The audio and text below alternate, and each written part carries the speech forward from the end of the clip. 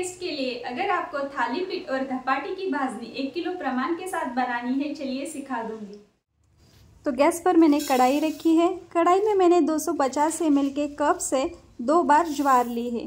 तो करीब ये ज्वार आधा किलो इतनी है। इसे हमें लो टू मीडियम गैस की फ्लेम पर एक दो मिनट के लिए भूनना है। भुनने के बाद इसे प्लेट में निकाल कर ठंडा होने के लिए रख देना है। अब फिर से कढ़ाई में हम हाफ़ कप इतना बाजरा लेंगे। तो यहाँ पर एक कप है 250 सौ पचास एम का और ये हाफ़ कप है 125 एम का। और हाफ़ कप तो वज़न में आएगा ये 125 ग्राम के आसपास ही। इसे भी हम अच्छे से भूनेंगे एक दो मिनट के लिए और फिर से इसे भी प्लेट में निकाल कर रख देंगे। अब फिर से कढ़ाई में लेंगे हाफ़ कप इतने गेहूँ और गेहूँ को भी हम एक दो मिनट के लिए लो टू मीडियम गैस के फ्लेम पर भूनेंगे। भूनने के बाद इसे भी हमें प्लेट में निकाल कर रख देना है।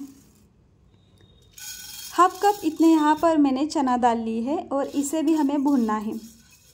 थाली पीठ का जो आटा होता है तो ये अनाजों को भूनकर ही बनाया जाता है। अब हाफ़ कप इतने चावल चावल से क्रिस्पी बनता है, खस्ता बनता है। अगर आप चावल नहीं डालना चाहते तो यहाँ पर आप पोहा भी डाल सकते हो। तो चावल को भी हमने भून लिया है और चावल को भी अब हम प्लेट में निकाल कर रख देंगे। तो यहाँ पर ये सारे अनाज हो गए हैं। अब इनमें डालने वाले हैं हम मसाले। तो यहाँ पर मैंने तीन टेबलस्पून इतना धना लिया है। धना हमें एकदम लो गैस की फ्लेम पर ही भूनना है। ज़्यादा भूनना नहीं है। अब इसे भी हमने निकाल कर रख दिया है। अब उसी पैन में मैंने लिया है दो टीएसपी इतना जीरा। और ये रेगुलर जीरा है, यहाँ पर शाही जीरा लेने की ज़रूरत नहीं है। इसे भी भूनने के बाद मैंने प्लेट में निकाल दिया है। अब यहाँ पर मैंने सौंफ ली है।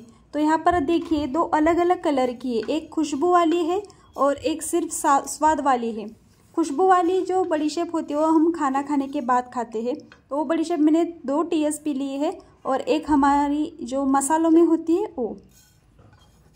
वन टी एस पी इतना अजवाइन लिया है और इसे भी भून कर हम प्लेट में निकाल कर रख देंगे। अब इन सारे अनाजों को, मसालों को हमें ठंडा करना है और फिर इसे पीसना है तो हमारा यहाँ पर आटा बन के तैयार है।